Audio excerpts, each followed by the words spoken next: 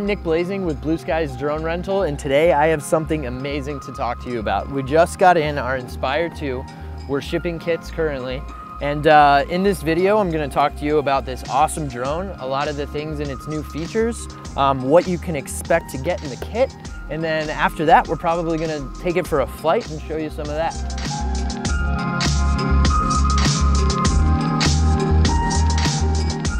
So this drone comes with uh, the ability to put two batteries in it. Um, you have to have two batteries to be able to take off, but uh, in, in the event that one of the batteries cuts out, um, you are able to land it uh, with that power. So it's just some built-in redundancy and it brings the flight time up to nearly 35 minutes for this drone. Um, this current drone I have, uh, we have the X5S camera with it. On the SSD, you'll be able to put out 5.2K resolution in RAW or ProRes 422 and ProRes 444XQ. Then on the micro SD, you'll be able to put out UHD up to 60 frames a second. So a little bit of things in, in our kit that you can expect. You're gonna get an SSD reader with, an, with a cable to, to use that. Uh, one SSD, um, we can either ship with two or four batteries, extra batteries. It takes two to fly, so that's good. Um, one or two controllers depending on uh, what you order. There's, uh, it will come with a four bay battery charger.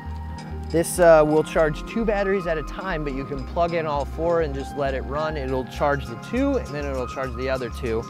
Um, depending on if you get the X4 or the X5S, um, we ship with that. Um, the standard 15 millimeter 1.7 DJI lens comes with that, uh, with the available 45 millimeter lens as well. All of our orders come with two sets of blades, that's eight blades all together. Just in case something happens, you're able to get the job done and continue flying. My favorite thing about the new drone has got to be the Lightbridge 2 technology and the new remotes. Um, Previously on the Inspire 1, sometimes in, in a lot of situations, your dual operator would get a lag or uh, not be able to see anything at all. Um, I've, I've, found, you know, flying them that there's very rare opportunities where you see them both working together. Um, and I can tell you in flying this drone and having a dual operator that the feed is solid.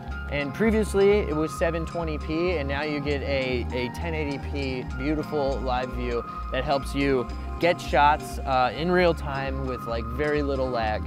Um, also HDMI out up to 50p for broadcast. You can live stream the footage coming out of this drone for news agencies and anything like that.